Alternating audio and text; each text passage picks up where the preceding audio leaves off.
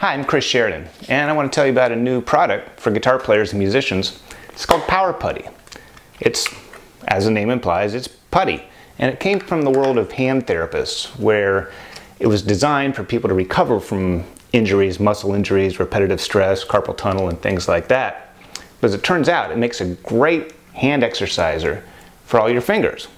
Now, you've probably seen these kind of springy, squishy hand things that just kind of do this over and over again. That's great, but this is better, and I'll tell you why.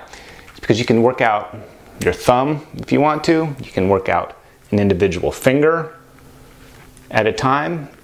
It fits any size hand because it's putty and it squishes into your hand size.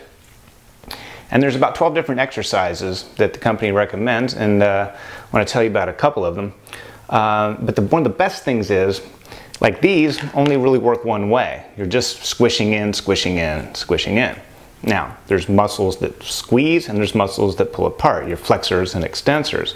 So, the good thing is you can work your extension muscles. You can take the putty and get a little strip, pull it apart a little bit, wrap it around your finger, and then pull up on it. And you're working all these muscles. Get around another finger and pull up on it. You can even use your thumb. So wrap it around your thumb, and pull up.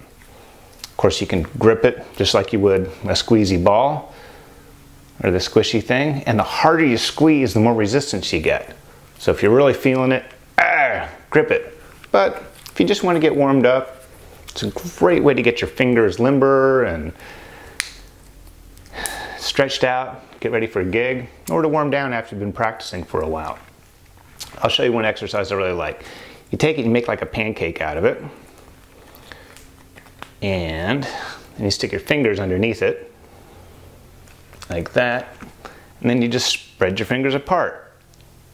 And it works all these muscles on the back of your hand back of your fingers.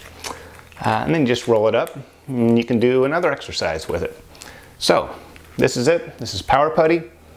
It'll be available at guitar stores soon.